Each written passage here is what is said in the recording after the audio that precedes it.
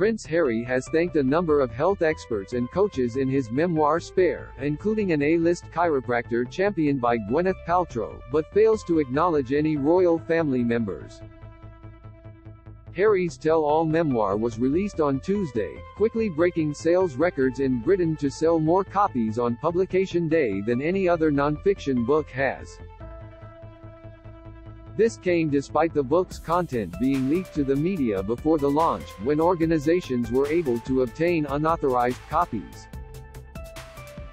Throughout Spare, Harry makes numerous intimate revelations about the realities of royal life, including a detailed account of his family's little-known working relationships with the British press, from the prince's viewpoint.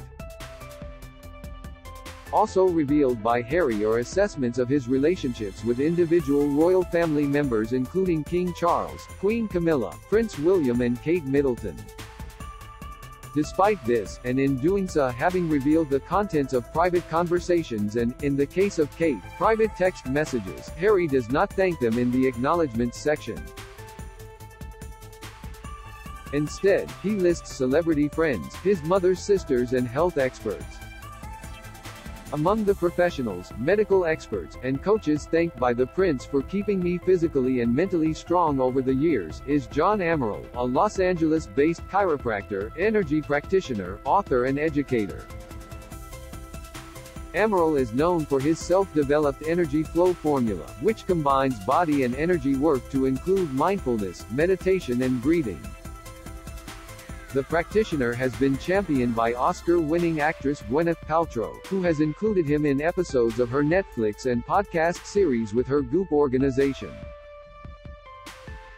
As well as Amaral, Harry also thanks physiotherapist Kevin Lidlow, who has worked with the Great Britain Olympic team, and performance coach Winston Squire, who has spent 15 years with the English national polo organization.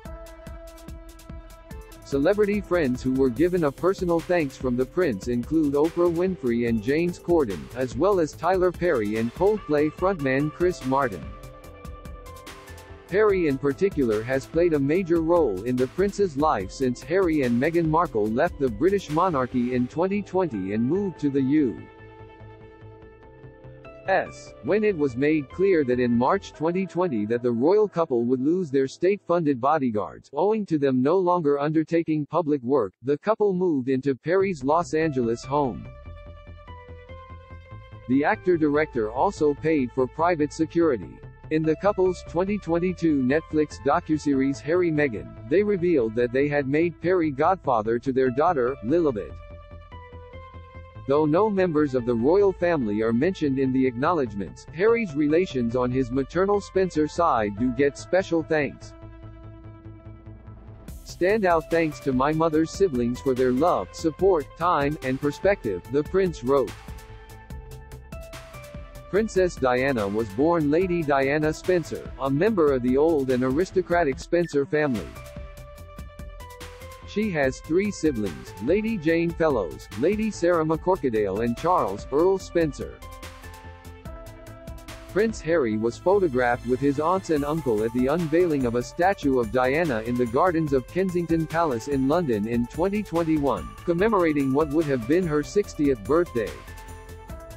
In response to the memoir and its claims, members of the royal family have been silent, with Buckingham Palace and Kensington Palace officials adopting no-comment positions.